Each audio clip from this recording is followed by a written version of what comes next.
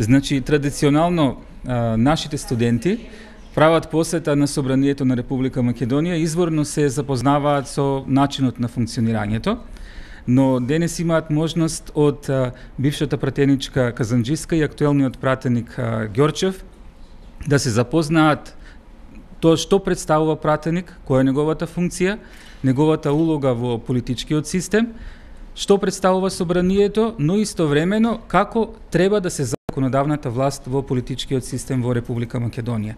Студентите ќе имаат можност изборно да се запознаат што представува работно тело, потоа што представува пленарна седница, а, што представува едно здружување помеѓу пратеници околу од различни политички партии околу заеднички теми, како што се женските прашања, правата на инвалидите, значи нема само разлики околу политичките партии, туку има и сличности околу некои теми, што представува координација, како се усогласуваат позициите помеѓу различни политички партии внатре во парламентот и а, наша пракса е секогаш во однос на различни теми да викнеме практичари кои што ќе ги споделат искуствата и знаењата со студентите. Тоа сме имале ситуација и со амбасадори, со министри, градоначалници и еве сега со пратеници. Да. Како идеја на вистина ми се допаѓа и ја поздравувам оваа иницијатива од деканот на правниот факултет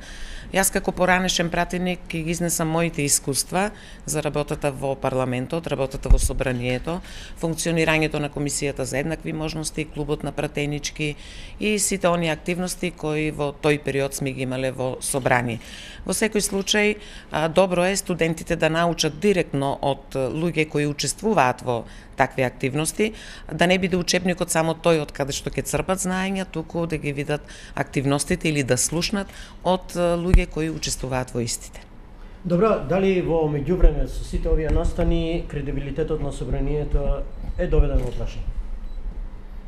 Јас со оваа позиција сега не можам да говорам, на тоа прашање ќе ви одговори мојот поранешен колега и сегашен пратеник Ѓорчев дали е доведен кредибилитетот на собранието во прашање, но сепак мислам дека граѓаните малку повеќе треба да имаат доверба во парламентот и во работата на пратениците.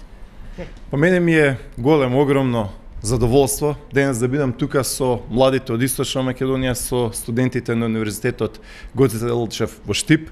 Јас бев еден од иницијаторите за овој универзитет, ова го гласав, ова беше платформа, беше прифатено И на вистина мило ми е и полно ми е срцето кога ќе видам дека и лјадници, и лјадници, студенти, млади луѓе од цела Источна Македонија студираат тука, ја гледаат својата иднина тука и ги здобиваат своите знаења.